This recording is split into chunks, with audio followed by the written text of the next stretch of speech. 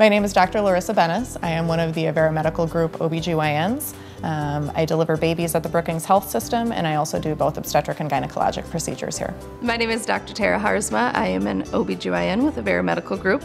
I deliver babies and do surgical procedures at Brookings Health System. I chose to become an OBGYN because I really enjoy women's health. I like the variety that comes um, along with being an OB and a gynecologist. Um, there's um, part of our time is spent in the clinic, clinic where we're taking care of patients, helping them with chronic pelvic pain or other issues that, that females face. I also um, really enjoy delivering babies.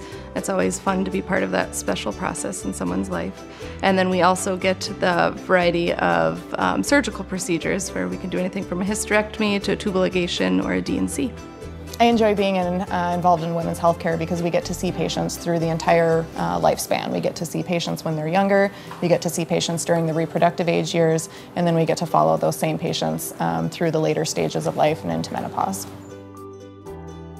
A hysterectomy is a surgical procedure where we remove the uterus.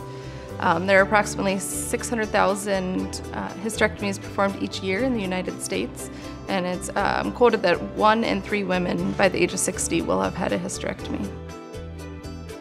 There are several women's health issues that women may need a hysterectomy. Those include uh, uterine fibroids, abnormal uterine bleeding, pelvic pain, endometriosis, um, uterine prolapse, as well as gynecologic malignancies.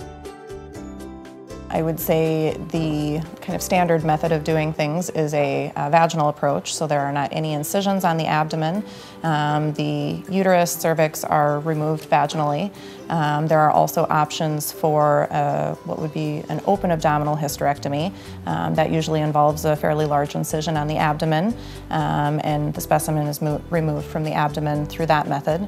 And I would say the most recent addition to all of those are the laparoscopic procedures, which can also be kind of the standard laparoscopic method, or there are options for robotic types of um, assistance with those procedures as well.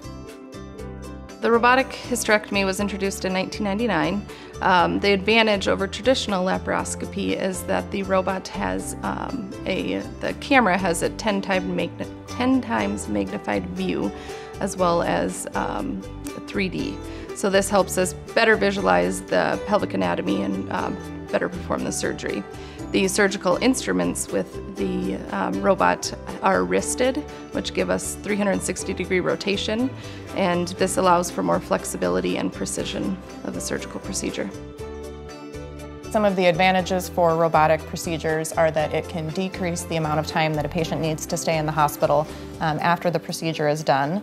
Um, and like Dr. Harzma was mentioning, the advantage of having some of the 3D imaging and the wristing of the instruments can give us um, more dexterity in more dexterity doing the uh, actual procedure itself, um, and especially in patients who have had prior abdominal procedures or have had a history of things like endometriosis that can cause additional adhesions, um, it gives us a little bit more flexibility to be able to do that procedure without having to do the larger abdominal open procedure. One of the other benefits to robotic procedures is that for patients who are overweight, um, it can give us an additional method to be able to do that hysterectomy without having to do a large abdominal incision.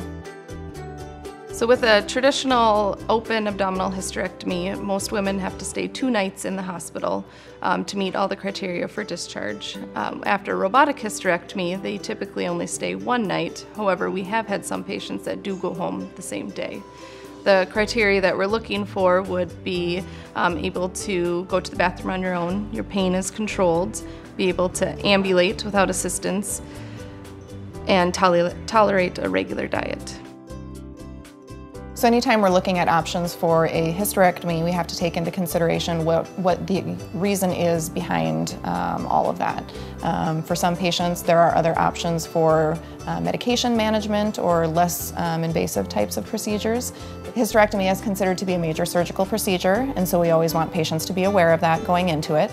Um, we usually talk about the risks and benefits associated with the procedure. I would say anytime we look at doing that, we usually say that there are risks for bleeding, risks for infection, risk for damage to bowel, bladder, or other nearby organs, and anytime we look at doing a surgical procedure, there is a risk of death.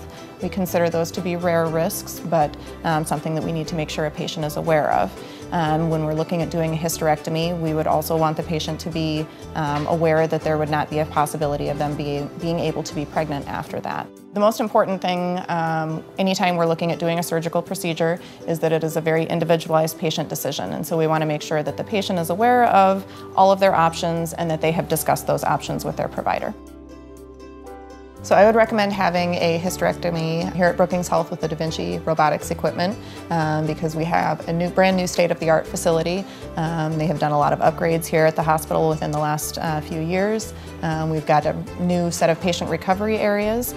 Um, we also have a very highly trained surgical team um, that includes not only the um, nursing staff and the OR staff, but also, also the physicians as well. both of us have done some additional specialized training to be able to use the robotics equipment. Um, and then here at the hospital, you're going to be a name, not a number.